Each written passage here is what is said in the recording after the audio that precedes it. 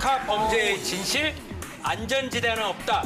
드론 몰카까지 아, 등장했습니다. 너무 싫다. 작년에 제주도 등 해수욕장에서 피해 사례가 많았습니다. 보통 해수욕장이나 이런 노천탕에는 이, 이- 이 앞쪽 뒤쪽은 막는데 위쪽은 안 막지 않습니까? 네. 가림개가. 예, 그러니까 이제 특히 지붕이 없는 샤워장 같은 데에서 드론을 띄우는데 그 드론 피해자가 너무 많이 나왔다는 겁니다.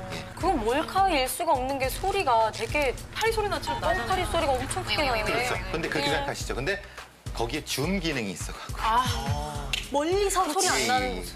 아, 그리고 당장 여기 바로 위에서 찍은 걸 봤어도 누가 조종하는지 모르고 한 3km 가갖고 착륙시켜버리면 아. 범인을 못 잡잖아요. 이게 가장 그것도 문제가 15층, 20층에서 창문 열고 이제 주무시는데 네. 드론을 거기서 띄우는 겁니다. 20층에서.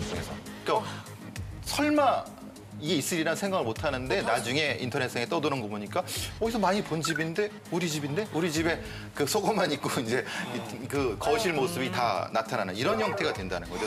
사실은 요즘 같은 기술을 가지고는 못 찍겠다 하는 것이 없습니다. 뭐 보통 1km도 당겨서 찍는 경우가 있으니까 항상 그 부분을 조심하세요. 저희 집이 고층이어가지고 위로는 더 이상 집이 없어서 문을 활짝 열어놓고 굉장히 자유로운 생활을 했는데 네. 갑자기 모르는 거예요. 겁나네. 아, 그렇죠.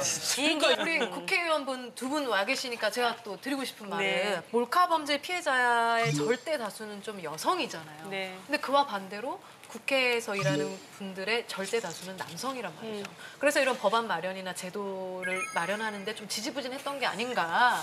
아, 저는 맞, 맞는 것 같아요. 네, 그런 게 있으니까 좀 어, 빨리 좀 대책들이 마련돼야 될 것 같아요. 아무튼 그래서- 저도 오늘 프로를 계기로 몰카 관련 여성 인권 법안은 제가 앞장서겠습니다. 어, 오늘 한 제가 부터 법안 한세 개, 네개 정도 법안 아이디어가 떠오르는데 네. 네. 바로 그래서. 제가 하태경 의원님께서 지금 말씀하신 거 얼마나 잘 실천할 것인지 제가 우리 이게 여성들만의 문제인 것인지 아니. 남자 국회의원들도 알아야 되겠다 싶어서 한번 준비했습니다. 준비됐습니까?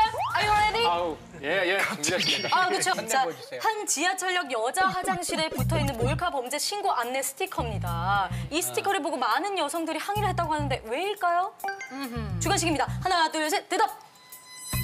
항의했다고요? 네. 아 진짜 모르시겠어요? 문구를 잘 읽어보세요. 저 동그라미가 렌즈 아니 아시겠어요? 끝밖에 이건 진짜로 이, 이 경찰청에서 붙인 스티커가 아닌 거예요. 저게 몰카구나. 저게. 그러니까 볼까요?